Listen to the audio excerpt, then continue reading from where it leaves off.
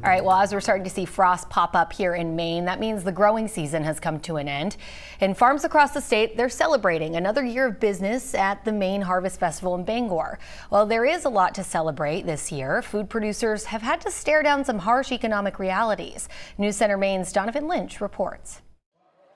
At the Maine Harvest Festival in Bangor, farmers taking stock of a complicated year. Quality, I think, is you know, is, is good. A solid yield for Maine's key crops is meeting a high demand from customers, but profits aren't always reflecting that success. We have seen, you know, dramatic increases in input costs. Don Flannery with the Maine Potato Board says some farms have been pinched, not by low retail earnings, but by the rising costs of everything from fertilizer to energy bills, brought on in part by supply chain issues and inflation. Instead of that gradual increase on a line chart, you've seen it take a peak. A report from the U.S. Department of Agriculture shows that the money spent by farmers to raise crops and livestock reached its highest point ever in 2023.